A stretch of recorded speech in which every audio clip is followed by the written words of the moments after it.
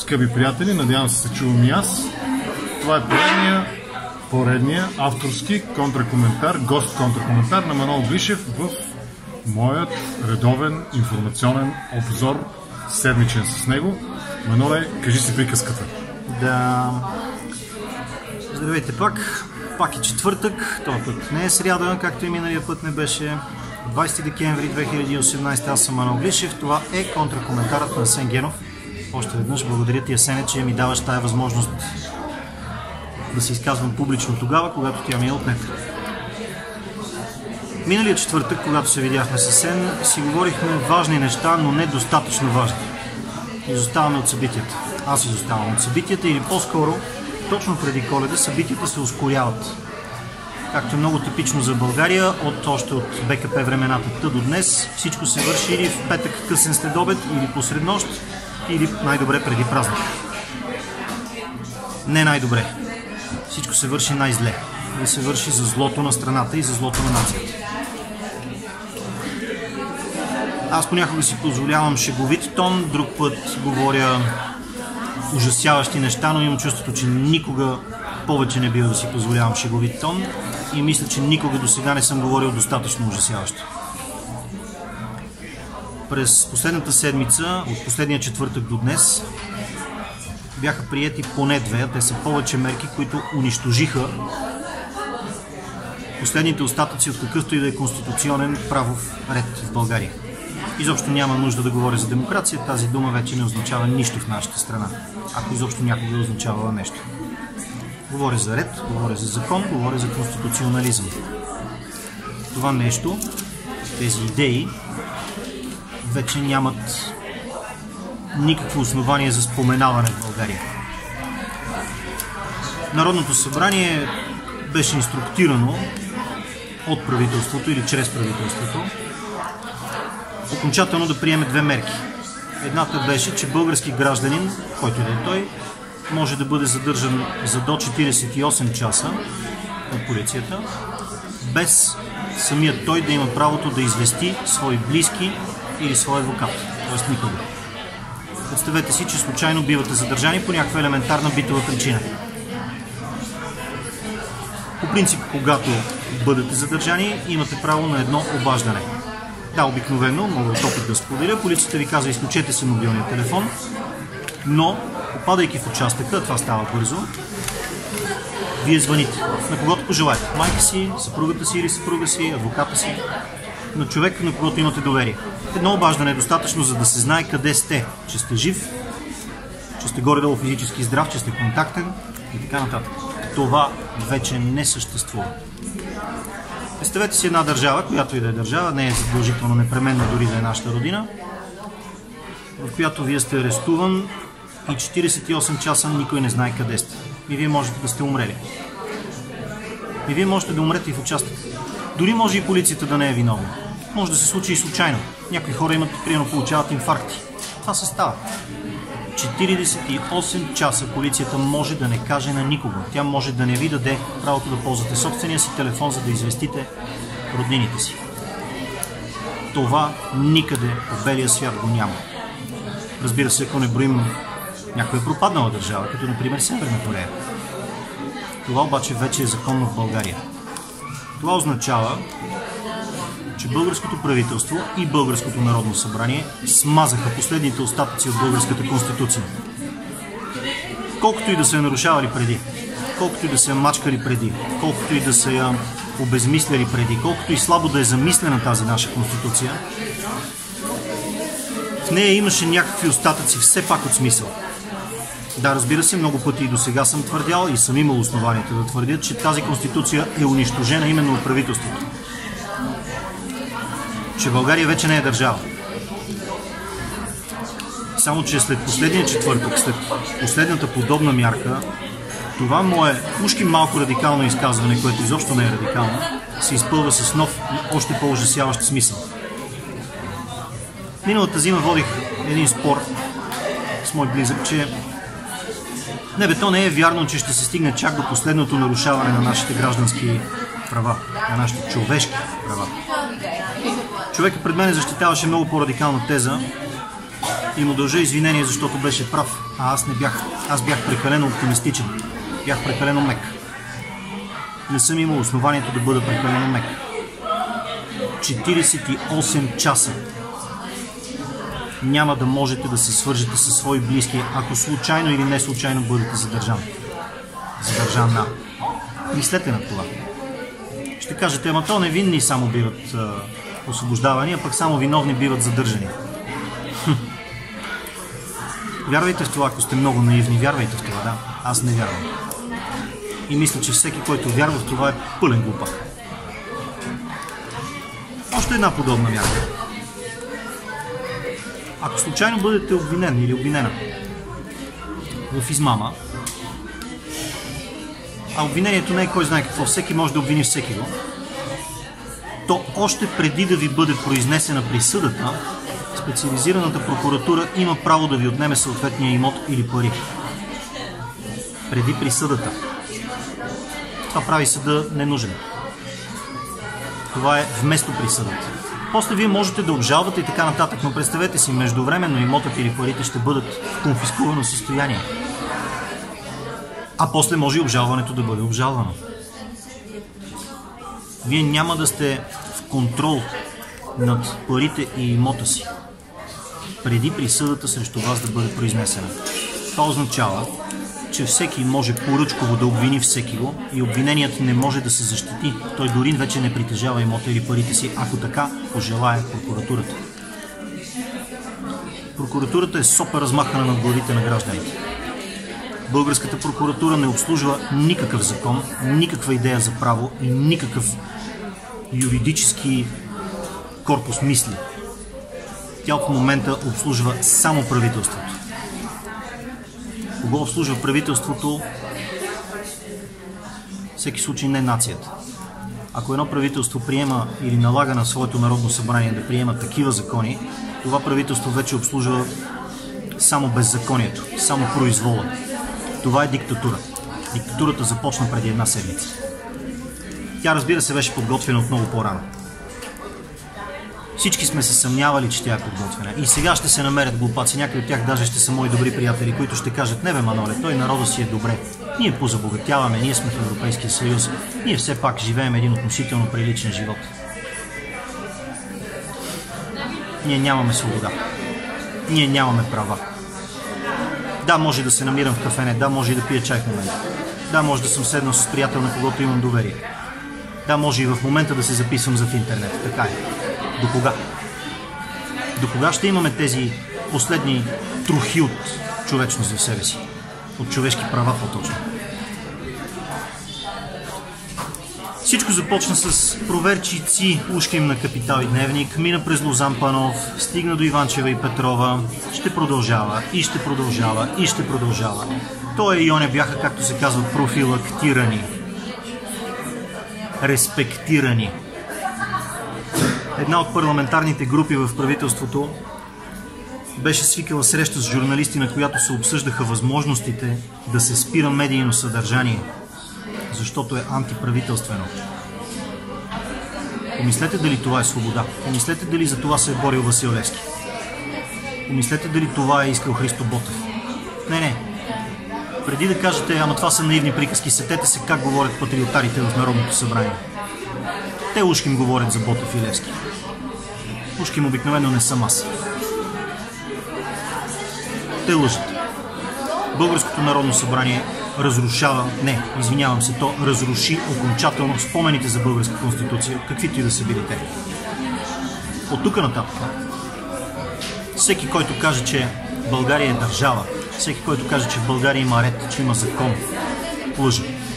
Или е много тъп, с което е полезен за това тъй наречено правителство. Нямам друго послание, освен наистина радикална нелоялност. Тя може да приеме каквито си искате вие форми не за всеки го е всяка форма на, на отхвърляне на, на тая лъжа, в която се опитват да ни накарат да живеем. Но има най-различни форми и всеки може да намери своята. Достатъчно е да кажете на полицая на улицата, човече, ти като държавен служител, участваш в престъпление. Да, ти може и да си свестен човек, но си безгръбначен. Достатъчно е да го кажете на контролира градския транспорт. на общинския си съветник, на депутата си, на областния управител, ако смеете, защото областният ви управител може и да е мафиот. И най-вероятно е. На кмета си. Можете да го кажете. Районния, градския, все тая. Всичко това е съпроводено и с а, други мерки. Не е само 48-часовото задържане без а, известие, не е само отнемането на имота на съдим човек или на парите на съдим човек. Оказва се, че в България е законно да бъдат задържани и разпитвани непълнолетни лица. И разпитвани. И задържани до 24 часа. Аз познавам човек, с когото се случи нещо в а, подобен аспект. Човекът се казва Георги Георгиев, председател е на гражданското сдружение Боец, живее в Видин и е почтен човек, поне доколкото аз мога да преценя. И миналото или по-миналото лято бяха сплашвали малкия му син с полиция в училище. Момчето, мисля, беше, ако не се лъжа, на около 14 години. Защо е това? Защото Георгиев казваше, че Цацаров, главният прокурор на републиката, е престъпник. Аз мисля, че имаш право на свободно слово. Мисля, че имаш право да кажеш за публична личност, че е престъпник. Ако го смяташ наистина, ако имаш основанието, ако можеш да защитиш тезата си. Заради това сплашва сина му. Какво ще правят сега? Същите тия власти с малцината хора, които се осмеляват да говорят против тях. Следете какво прави Лозан Панов. Него ще го сплашват и ще го мачкат. Може да се опитате да го убият. Следете какво казва и какво прави Велислав Минеков, професор Велислав Минеков. Той казва обикновено истини, много сериозни неща в сравнение с които моите приказки звучат като меки приказки за лека нощ. Следете какво рисуват и какво пишат невъзпитаните карикатуристи от Прас Прес, защото тия хора защитават свободата. Тая свобода, която вие не я цените, уважаеми приятели, зрители и слушатели. Тая свобода, която май ви се вижда много абстрактна и ненужна, която ушким не се яде. Само дето свободата се яде. Защото без нея ще ви отнемат и професията, и хляба, и имота. И семействата ви ще разбият. Мислете за това всеки път, когато си кажете, ама аз имам жена и дете, или аз имам мъж и дете и не смея да протестирам, не смея да изляза, не смея да говоря, не смея да протестирам. Мислете за това, кое не смеете повече. Повече не смеете да протестирате или повече не смеете да си останете вкъщи. Защото докато не се научите да протестирате, ама сериозно, истински да протестирате, докато не се научите да искате своето и да се държите като граждани на нация, ще ви мачкат. Борисов, Цацаров, Доган, а зад тях Чайка и Путин ще ви мачкат, ще ви унижават, ще ви лъжат, ще ви отнемат правата и ще ви казват през цялото време, че трябва да сте благодарни и да се чувствате по-добре. Ще се подиграват с вас. Не позволявайте да се подиграват с вас. Бъдете хора, а не животни на заколение. Четете книги. Ама не е такива книги, в които пише как преклонената главица остра сабена я сече. Четете книги, в които пише точно обратното. Как само преклонената главица я сече сабета. Защото точно това се случва. Овцата е овца, затова е колет. Вълка е вълк, затова него не го колет. Него може да го гръмнат, ама няма да го заколет. Мислете за това. Не го стрижат. Да, не го изтрижат точно така. Не го и връзват на каишка. Вие кое искате да бъдете? Овце или хора? Ще кажете, това е риторика. Той е излишно се пали. Лесно му е на него там в София, докато ние, примерно, по цяла България страдаме повече и имаме по-малко възможности да говорим. Ние нямаме асен пред чието телефон и камера да застанем. Може. Може. Почнете да се сдружавате един с друг. Почнете да си помагате един на друг. Разбира се, че във всеки български град, село, квартал, училище, всякаква организация, всякаква работна среда, винаги има хора, които те докладват на властите. Винаги има хора, които се надяват да са последните заклани. Или искат пари от вас. Или искат пари от властите. Разбира се, че ги има. Не слушайте тези хора, слушайте съвестта. Пак ще ви кажа, Левски и Ботев са искали друго нещо. Те са искали наистина свята и чиста република. Искали са закон, конституция, ред, свобода за човек, човешки права, човешко лично достоинство. Не се връзвайте на тия приказки за ама то патриотичното е да си слушаме винаги държавата и властта. Не. Патриотичното е да сме първо хора. Ей, това е да си патриот, да държиш на човешкото лично достоинство, личната свобода, на жената и детето. Защото и те са хора. На това, че мъже е мъж, а не е жертва. Ще кажете, ама то по-християнски да прощаваме. До кога да прощаваме? И на нас някой прощава ли? Бойко Борисов християнски прощава ли ни, че сме хора? Цацаров прощава ли ни? Доган прощава ли ни? Не ни прощава. До кога ние да им прощаваме? Мислете за това. Скъпи мои съграждани. Много искам наистина да сме 7 милиона граждани, а не 7 милиона овци. Другите неща, които не са риторика, са свързани пак с Лозан Панов, пак с Иванчева, пак с задържането на непълнолетните, пак с един много смешен и много показателен факт. Общинските съветници са извадени от списъка на лица, които са длъжни да си оповестяват собствеността. Всеки обикновен човек трябва да си оповестява собствеността. Общинския съветник обаче, тъй като се задават нови избори за общините, вече не е длъжен. Общинския съветник става един от малкото феодалчета, богопомазани. До кога трябва да крепим този модел? Страшно много хора си загубиха имотите в имотни измами последните години. Скоро научих историята на, на семейство, което, което си е загубило къщата, включително може би с помощта на общината.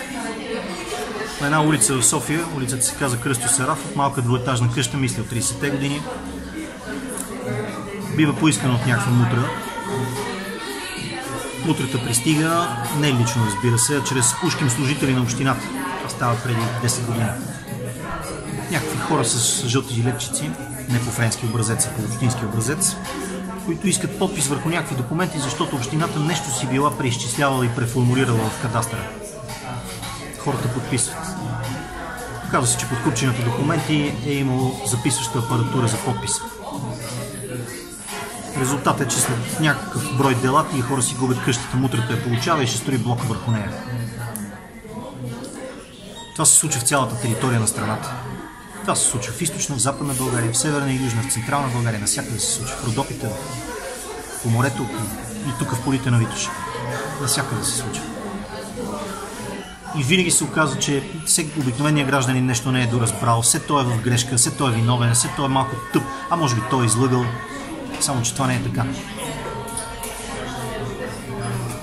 Единственото, което е вярно е, че за пореден път, за пореден случай, отново този, който е мутра, не дължи никакви обяснения нищо за никого, ни, на, нищо, на никого и за нищо. А този, който е обикновен гражданин, е виновен за всичко и губи имота си. През това време общинарите не са длъжни да оповестяват какво притежават. Не, това вече не е нормално. Не, това вече не е просто поредната корупция, не е просто поредната кражба. Не, това беше края на българската конституция. Това беше унищожаването на българската лична свобода и неприкосновеност. Вие като личност, който и да сте, който евентуално гледате това в момента, вече не струвате нищо в очите на държавата. Аз, който говоря това, вече не струвам нищо в очите на държавата. Всеки от нас може и някой от нас вероятно ще бъде заплашен заради това, което приказва. Убеден съм, че трябва да се приказва срещу тази държава. Не е вярно, че приказването не е работа. Приказването е част от цялата работа, само че най-накрая, след приказването, трябва да се стигне и до нещо повече. Благодаря ти, Сене. Благодаря на всички, дето изтърпяхте тая тирана. Мисля, че тирадите с времето трябва да стават все по-сериозни. Ами, айде тогава да направим така, за да се вместим в 20 на минути. Слушай. В рамките на минута, примерно, да ми кажеш твоята лична оценка, отговор на въпроса с какво твоята идеология, например, айде идеология е тежка дума, но с какво твоите възгледи, разбирания за нуждата от постоянна съпротива, да го кажем, се различава от това, за което често, включително и теб, хора като теб са били обвинявани, а, перманентната, перманентната революция на Троцки. Ще те провокирам, да, но... Не, това не ме провокира, това ме обижда. Не, Асене, не е това въпроса. Ам, да си задаваме въпросите, които ще ни задават ченгетата, е глупаво. Защото утре, когато ти да речем бъдеш ядосан по този начин, а ти също понякога се ядосваш изправо, когато някоя тъпа журналистица те попита нещо в този калибър, Отговори ми как Аз ще отговоря на тъпата журналистка. аз ще отговоря, първо ще, първо ще говоря като на тебе, а после ще ти отговоря като на тъпа журналистка, защото теб те уважавам, а не. А, Та когато тъпата журналистка или тъпия журналист, разбира се, те попита нещо глупаво, примерно, вие с какво се различавате от перманентната революция на Троцки? Отговор е долу куче. Долу лъжецо, долу ти, който обслужваш статуквото. Защото си измамник и въпросът ти е грешен. Само, че това не е отговора ми към Асен. Асен е един от малкото честни хора в България. Ха. Ако трябва да се отговори наистина по същество на този малумен въпрос, то е, че в крайна сметка революцията се състояла веднъж вече в 44-та. И тя не е революция, тя е убийството на една нация. Това, което живеем в момента, това отнемане на права, това отнемане на, на неприкосновеността на човешката личност, на, на информацията къде си, на имота и парите ти, това заплашване на децата, което също вече е факт. Тази безнаказаност на властите. Това са резултатите от, от революцията от 44-та. Това е резултата именно от троцкизма и от ленинизма преди него. Това е резултата от авторитарщината. Ето това е революцията. Точно това трябва да спре. Точно това трябва да бъде замразено и унищожено за винаги. Напротив, това до което накрая трябва да се стигне, трябва да бъде чиста и свята демократска република. Това, което иска Васил Левски. Република, в която законът да е еднакъв за всички, от министър-председателя до обикновения гражданин. Най-накрая трябва да се стигне не до перманентна революция или перманентна контрреволюция. Не. Най-накрая перманентната революция на тези произволджи, на тези кръци и убийци, на тези беззаконни авторитаристи, на тези диктаторчета от, от, от, от, от МВР, подявайте, и от бившата ДС. Тяхната революция трябва да бъде прекратена. България най-сетне трябва да стане отново нормална страна. Тя трябва да заприлича на, на място, където хората свободно и спокойно живеят, работят и не се боят. Човек не трябва да се бои, човек трябва да е свободен и спокоен. Той трябва да е господар в дома си, в собствената си къщичка, в собственото си апартаментче, в собствената си малка вила на село. Човек трябва да е стопанин на собствения си дом, на собствените си пари, бидете в брой и в карта. Човек трябва да е, в крайна сметка, да е съпруг на жена си или съпруга на мъжа си. Човек трябва да е дете на родителите си и, и, родител на децата си и нищо повече. Какво повече? Ето това е което трябва да стане накрая. Само, че за да бъде гражданин на гражданин, този държавен произвол срещу него, извинявам се, този псевдодържавен произвол, трябва да се прекрати. Държавата е размахала сопа над главите ни, тя троши главите на гражданите. Това трябва да спре. Ето, тази революция трябва да се прекрати за винаги. Е, ако това минава за перманентна революция в моите приказки, в моята тъй наречена идеология, ми хубаво, то според мен всеки нормален човек на света ще, ще е перманентен революционер в този смисъл. Защо? Защото иска нормална, защитена частна собственост, защитено лично достоинство, защитена лична чест, липса на страх от хората. Ако това е перманентна революция, Бога ми, добре е дошла. Така да бъде. Еми, Добре, много ти благодаря за този аз ти разговор. благодаря. И за това, че отговори с провокация на моята провокация. Здравейте пак, благодаря ти, Асене. След, преди и вместо контракоментара искам да допълня нещо, което може да ви се стори интересно. Не само, че в България най-важната тема действително е тази за отнемането на правата. Действително става дума за това, че могат вече да ни арестуват за по 48 часа, без това да бъде казано на никого. Действително могат да ни взимат имотите и парите, без дори да сме осъдени от някакъв съд. Ами на това отгоре, тази изключително важна тема, това заради което, честно казвам, Европейския съюз трябва да се побърка срещу българските власти, отново се прикрива, отново се замазва под килима с лъжливи теми. Ще си спомните, че преди време се дигаше много шум, това беше преди 10 на години, да говорим не за АЕЦ Белене, не срещу АЕЦ Белене, да не говорим за парите на Валю Топлото, да не говорим за тефтерчето с хонорарите на Р. Овч, а точно тогава властите измислиха тъй наречения проблем за мита Батак на Балева и Брумбауер. Този сценарий се повтаря през годините. Докато се краде, дали пари, дали права, в случая сега е права, Та докато властите ни, ни ограбват и ни унижават, се измисля фалшива нова тема. Когато друг е корупционния проблем или медийния проблем, се измислят друг лъже проблем. Например, това се случи веднъж с Истанбулската конвенция. Обясниха ни как Истанбулската конвенция била много проджендърска. Обясниха ни как тя е против изконните нали, устои на българското и въобще християнското семейство и така нататък и така нататък. Това беше лъжа. И не беше темата на деня. Много по-важни теми имаше. Обаче, сега това се случва по един особено гнусен начин, защото този път използват хубава и важна тема, за да обезмислят още по-важни теми. Помните ли Пирин? Помните ли миналата зима? Помните ли, че за спасяването на Пирин честните хора, нормалните хора излязоха на улицата и протестираха и искаха да спасят планината от домогванията на Юлен и от домогванията на Цеко Минев. Много правилно. Тогава протестите не успяха, включително защото партията Зелените се беше продала на гербаджиите и проведе лъжи протести. Сега тази тема за Пирин отново се подема от тия казионни зелени. Отново се подема този път изцяло в полза на гербаджиите и това вече в момента е лъжи протест.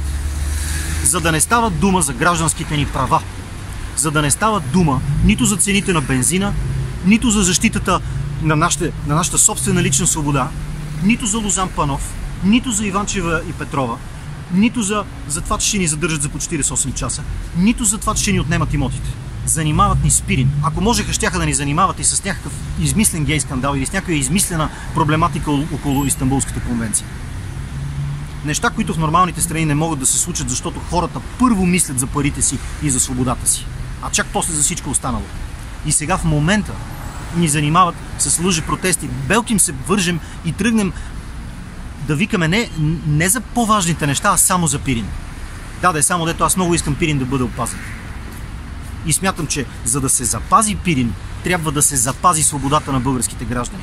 За да бъде по-ниска цената на бензина, трябва да се запази нашето лично достоинство. Трябва съдът да работи здраво, а прокуратурата да бъде поставена там, където зимуват раците. Защото иначе тая прокуратура по модела на Вишински, това правителство по модела на Фидел Кастро, и това Народно събрание, което не е Народно събрание, ще продължат да ни унижават и мачкат и да ни занимават с лъжливи проблеми. Мислете над лъжливите проблеми. Разпознавайте големите теми от малките теми. И не ги оставайте една друга да си пречат. Взимайте ги заедно, в пакет. Цената на бензина е сериозен проблем. Пирин е сериозен проблем. Правата на майките на деца с увреждания са сериозен проблем. Само, че над всичко това стои беззаконието, стои корупцията. Както го беше казал автора на Тютюн, отгоре стои мафията. Мафията в нашия случай вече е бившата ДС. Ето над това не спирайте да разсъждавате. Различавайте частния случай под множеството на големия проблем от самия голям проблем. Благодаря.